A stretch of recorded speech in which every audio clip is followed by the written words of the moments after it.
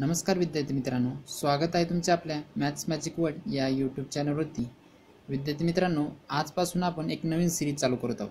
यामध्ये आपण संपूर्ण अंकगणित घेणार आहोत.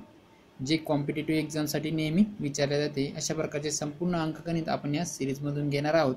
तसेच आवश्यक त्या ठिकाणी आपण शॉर्ट ट्रिक्स वापरणे रेग्युलर पद्धतीने उदाहरणे सोडवणे हे सर्वच आपण यामध्ये पाहणार आहोत. बेसिक संकल्पनासह अतिशय सोप्या पद्धतीने आपण हे गणित शिकणार आहोत.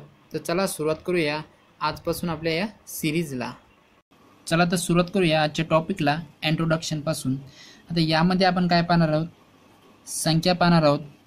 नंतर अंक आणि रोमन संख्या. आता संख्या खूप महत्त्वाच्या असतात. कुठलीही गोष्ट आपल्याला मोजायची असेल किंवा भौतिक वस्तू मोजायची असेल त्यावेळेस आपल्याला संख्यांचा उपयोग होत असतो. पण आता या संख्या नेमक्या तयार कशा होतात? कशापासून संख्या तयार होतात? याविषयी आपण माहिती घेऊया. यामध्ये सर्वात महत्त्वाचे आहेत अंक. आता अंक कुठले अंक असतात यामध्ये आपण जाणून घेऊया. अंकापासूनच संख्या तयार होत असतात. आता यामध्ये अंक कोणकोणते असणारे? शून्य एक दोन तीन चार पाच सहा सात आठ नऊ. ही काय अंक आहेत. हे एकूण दहा अंक आहे. या दहा अंकापासूनच आपल्याला संख्या मिळत असते. या दहा अंकांचा वापर करून आपण संख्या तयार करतो. मग संख्या एक अंकी असेल दोन अंकी असेल तीन अंकी असेल कुठलीही अंकी जस जसे तुम्ही अंक वाढवाल तसतशी संख्या मोठी होत जाणार. म्हणजेच काय? या दहा अंकापासून तुम्हाला काय मिळते? संख्या मिळते. आता नेमकी संख्या कशी तयार होते ते पाहूया आपण इथे. संख्यामध्ये बघा. आता आपण जर समजा एक अंकी संख्या जर घेतली. एक अंकी संख्या. आता एक अंकी संख्या म्हणजेच काय? यामध्ये फक्त एकच अंक असणार आहे. प्रत्येक याच्यामध्ये. इथे शून्य एक दोन तीन असे कुठपर्यंत असणार आहे? हे नऊपर्यंत असतील. सर्वात अंक सर्वात अगोदरचा अंक कोणता? शून्य. आणि सर्वात शेवटचा कोणता असेल? एक अंकी नऊ असेल. आता एकांकी संख्येमध्ये काय आहे की प्रत्येक संख्येमध्ये फक्त एकच अंक आहे. इथे शून्य इथे एक इथे दोन इथे तीन अशा प्रकारे नऊपर्यंत नऊ हा सर्वात शेवटचा शेवटची संख्या एक अंकी संख्या. आता दोन अंकी संख्या कशी तयार होणार आहेत? दोन अंकी संख्या. तर दोन अंकी संख्या म्हणलंच काय? की म्हणजे प्रत्येक संख्येमध्ये किती अंक असणार आहेत? दोनच अंक असतील. मग दोन अंकी संख्या कुठून सुरुवात होती? दहापासून यामध्ये दोन अंक आहेत. इथे अकरा येणार नंतर बारा येणार नंतर तेरा येणार. असं कुठपर्यंत राहणार आहे? हे नव्याण्णवपर्यंत म्हणजेच दोन अंकी संख्येमध्ये सर्वात लहान आहे. सर्वात लहान संख्या कोणती असणार आहे? दहा. आणि सर्वात मोठी संख्या कोणती? नव्याण्णव. मिळते तुम्हाला.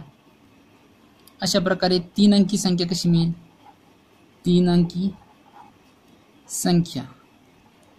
तर तीन अंकी संख्येमध्ये काय होणार की प्रत्येक संख्येमध्ये तीनच अंक असतील. मग हे तीन अंक कुठून स्टार्ट होतात? तीन अंकी संख्या कुठून स्टार्ट होणार आहे? शंभरपासून यामध्ये तीन अंक आहेत. शंभर नंतर एकशे एक नंतर एकशे दोन नंतर एकशे तीन. अशा प्रकारे हे चालूच राहणार कुठपर्यंत? हे शेवटी नऊशे नव्याण्णवपर्यंत. प्रत्येक संख्येमध्ये किती अंक आहेत? तीन अंक आहे अशा प्रकारे तुम्ही चार अंकी संख्यासुद्धा घेऊ शकता. चार अंकी संख्या. यामध्ये चार अंक असतील. आता हे कुठून सुरुवात होईल एक हजारपासून एक हजार. इथे चार अंक येत नंतर काय होईल? एक हजार एक एक हजार दोन. हे असंच चालू राहणार. ठीक आहे? नंतर हे कुठपर्यंत असेल हे नऊ हजार नऊशे नव्याण्णवपर्यंत अशा प्रकारे तुम्हाला पाच अंकी संख्या सहा अंकी संख्या जसजशी तुम्ही अंक वाढवत जाल तसतशी तुम्हाला संख्या मिळत जाईल. म्हणजे याचा अर्थ काय होतो की या दहा अंकापासूनच तुम्हाला काय मिळत असते? संख्या संख्या मिळते.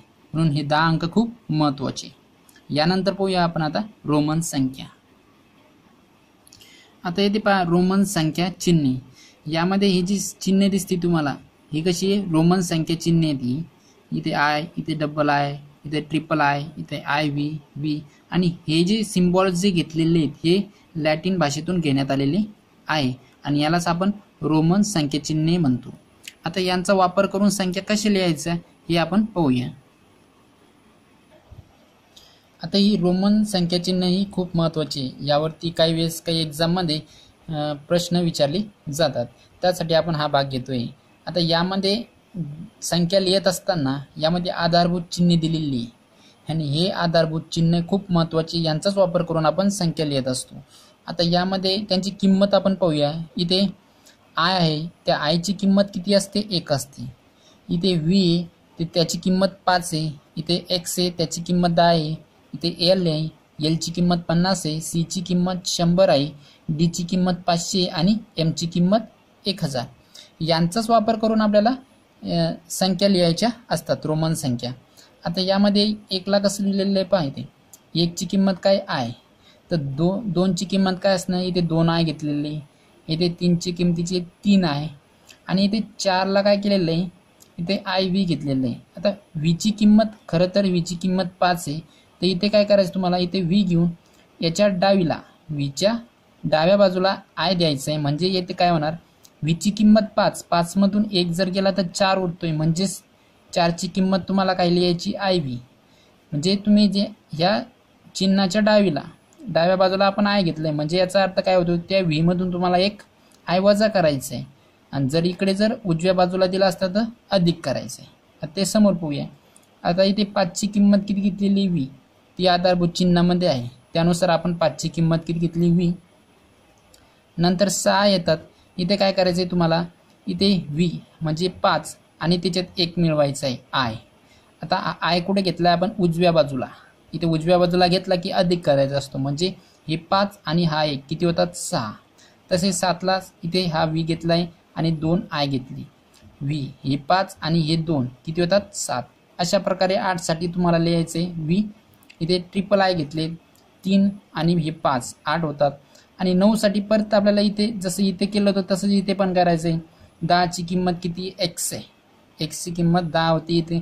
तर तुम्हाला काय करायचं इथे? एक्स आणि हा आय कुठे दिलेला आपण? डाव्या बाजूला. डाव्या बाजूला द्यायला दिलाय म्हणजेच तुम्हाला एक दहामधून वजा करायचं आहे म्हणजे किती उरणार आहेत? नऊ. इथे तुम्हाला नऊची किंमत किती मिळते? आय एक्स आणि इथे दहाला काय घ्यायचं आहे आपल्याला? एक्स आता अशी प्रोसिजर तुम्हाला सर्वांसाठी करायची नंतर तुम्ही अकरा बारा तेरा या संख्या लिहू शकतात आता इथे आपण दहाची मल्टिपल घेतलेले आहेत. दहा वीस तीस चाळीस हे कसे लिहायचे ते पाहूया आता सेम प्रोसिजर सारखीच आहेत. फक्त इथे काय होणार आहे की सिम्बॉल बदलतील. प्रोसिजर तशीच ठेवायची तुम्हाला. आता इथे दहाची किंमत एक्स आहे. ठीक आहे? आता इथे वीस आहे. वीस म्हटल्यावर दोन एक्स आलेत. हे दहा आणि हे दहा किती झाले? वीस. इथे तीसचं कसं करायचं तुम्हाला? तीन एक्स घ्यायचे. एक्स एक्स एक्स दहा दहा दहा किती आले? तीस. आता इथे चाळीस. आता चाळीसमध्ये काय केलं आहे तुम्ही एक्स एल एलची किंमत किती आपल्याकडे? पन्नास. आता चाळीस काय? चाळीस इथे पन्नासमधून दहा वजा करायची तुम्हाला. म्हणजेच इथे काय करायचं एलच्या डाव्या बाजूला आपण एक्स घेतला आहे म्हणजे याचा अर्थ काय झालं की एलमधून एक्स वजा झालेला आहे. म्हणजे किती होतं ते चाळीस.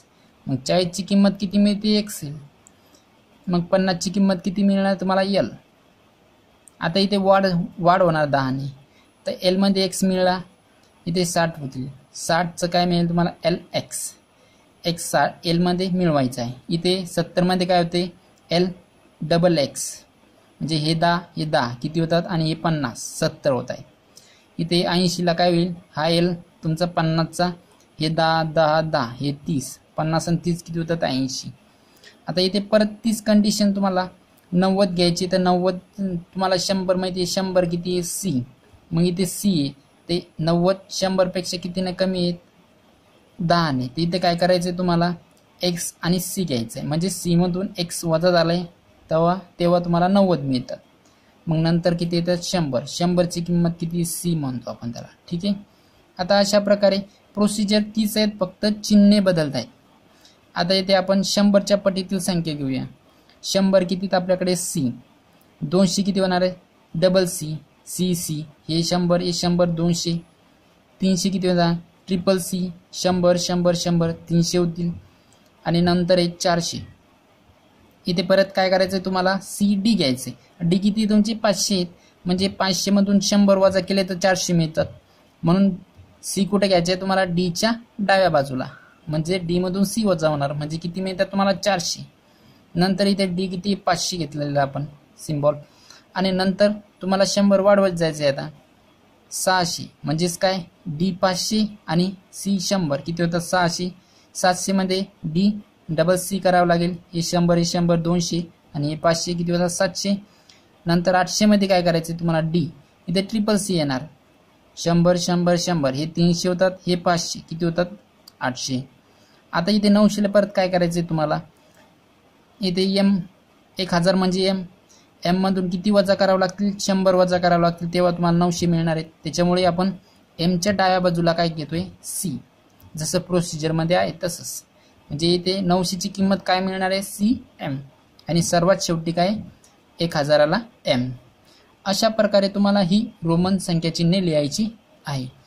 प्रोसिजर सर्वांसाठी सारखी आहे फक्त काय होणार आहे की तिथे चिन्ह बदलत राहणार आहे. आणि ही चिन्हे कशी बदलतील तेच तुम्हाला इथे लक्षात ठेवायचं आहे. आता यानंतरच्या टॉपिकमध्ये आपण संख्यांचे प्रकार पाहणार आहोत. जे पुढील व्हिडिओमध्ये हा टॉपिक असेल यामध्ये आपण नैसर्गिक संख्या पूर्ण संख्या पूर्णांक संख्या पूर्णांक संख्या परिमेय संख्या परिमेय संख्या याविषयी माहिती घेणार आहोत. अतिशय महत्त्वाचा टॉपिक आहे आणि बेसिक आहे. जर तुम्ही चॅनलवर नवीन असाल तर चॅनलला सबस्क्राईब करा सोबतच प्रेस करा बेल आयकनला जेणेकरून तुम्हाला लेटेस्ट अपडेट मिळत राहतील. आणि सर्व व्हिडिओ तुमच्या पाहण्यात येतील. धन्यवाद.